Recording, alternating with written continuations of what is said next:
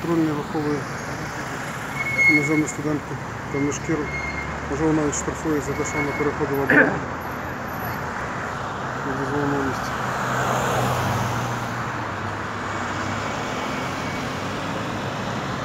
Це так звана стежка смерті біля медуніверситету.